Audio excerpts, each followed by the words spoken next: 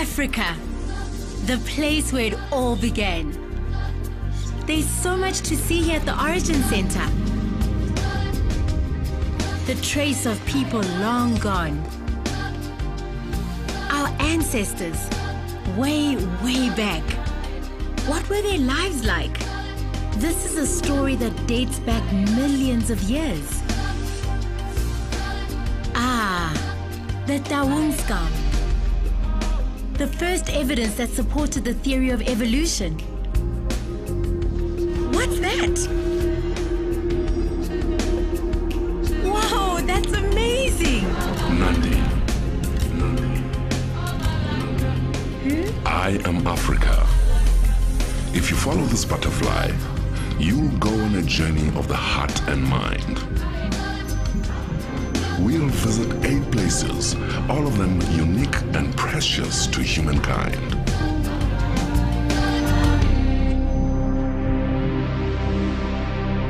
Our journey starts in the cradle of humankind.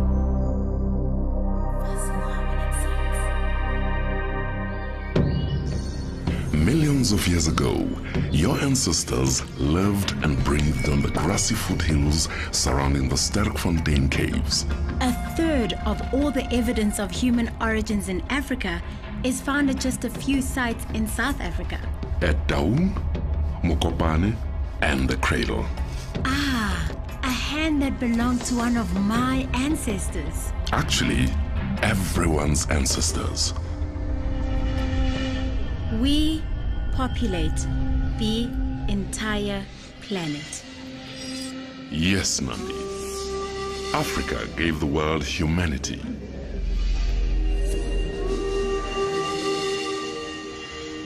Maropeng, that's a Setswana word. It means returning to the place of origin. Well, this is where it all began. You're back.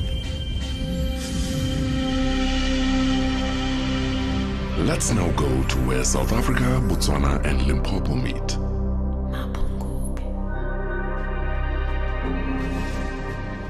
A great civilization began right here, where the Limpopo and the Shashe rivers meet. This is Mapungubwe, the site of South Africa's first kingdom.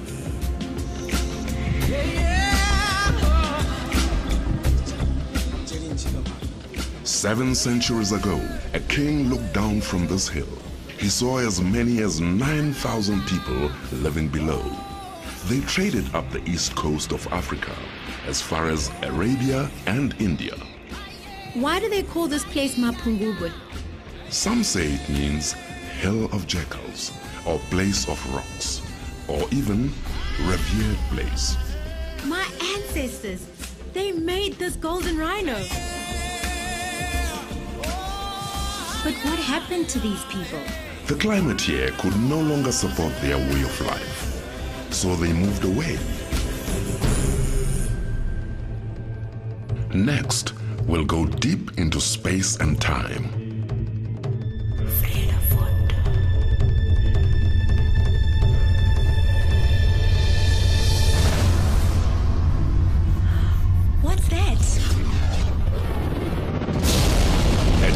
Rock struck the Earth 2,000 million years ago, leaving an imprint about 300 kilometers wide.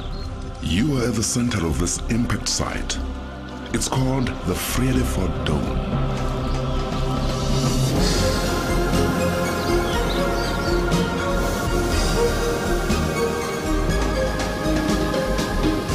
Those distant hills are the eroded edges of the impact site. This must have been a huge explosion. Even if all the world's nuclear weapons were exploded at once, it wouldn't be as big as this explosion. A cataclysm was frozen in time.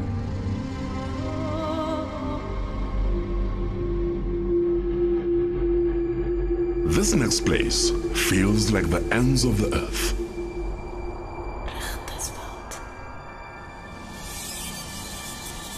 This place, it's so hot and so vast. How does anything survive here? The Orange River is the lifeblood of this remote mountain desert. More plants grow here in the Richtersveld than in any other desert in the world. Here's a Halfmansburg. And this is a quiver tree. I can't believe people actually live here. Their ancient ancestors are the Khoikhoi. They live in this desert like they did way before colonial times. Here, you'll also find the Bosluis Basters, descendants of the Khoikhoi and Cape Dutch farmers. These faces, they tell stories. Stories of determination, adventure, and a remarkable culture. Come with me now to the highest mountains south of Kilimanjaro. uKhahlamba,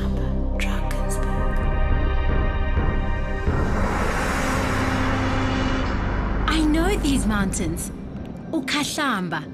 They are a formidable barrier of spears. We are right next to the mountain kingdom of Lesotho. Here, you can climb the chain ladder, take a trip up the Sani Pass, or visit the world's second highest waterfall, the Tugela Falls. All this grandeur stretches 150 kilometers from north to south. And across these mountains are caves with what is possibly the largest collection of rock art in Africa. We can see how the San lived and what they believed. But by the late 1800s, most of the San were dead. Only some managed to flee. And now for a kingdom where the riches aren't made of gold.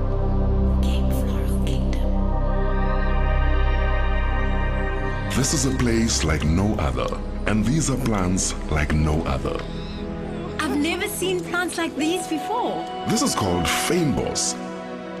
Wow! Every step you take, there's a new discovery. Stretching from the Cape Peninsula across 900 square kilometers, there are nine specially protected areas, which together make up the Cape Floral Kingdom. There are more different kinds of wild plants than there are in the whole of the United Kingdom. Just here, on Table Mountain alone.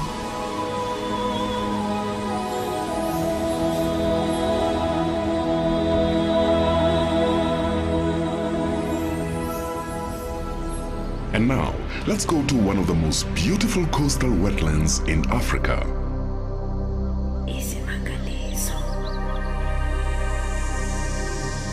This is Isimangaliso.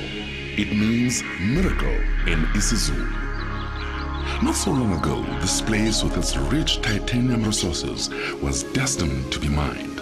Today, it is preserved. This place is like paradise, so abundant with life.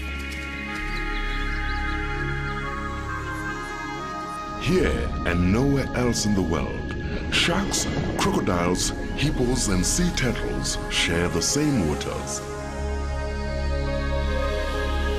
People are still using traditional ways to catch fish and living in a manner that is sustainable. You can walk for miles along this unspoiled beach, all the way to Mozambique. Nandi, it's time for the last part of your journey.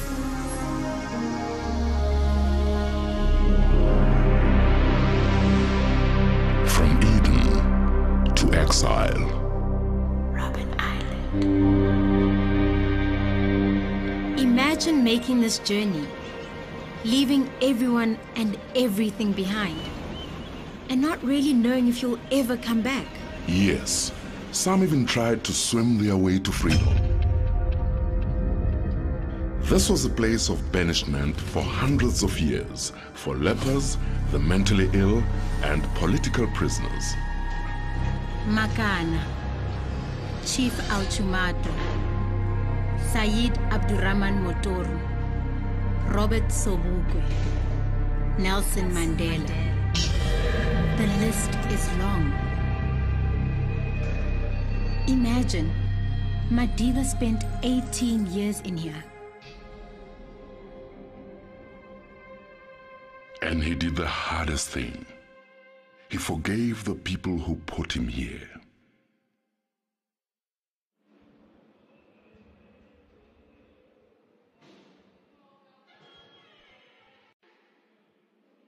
This must never happen again. Nandi, your journey has come to an end.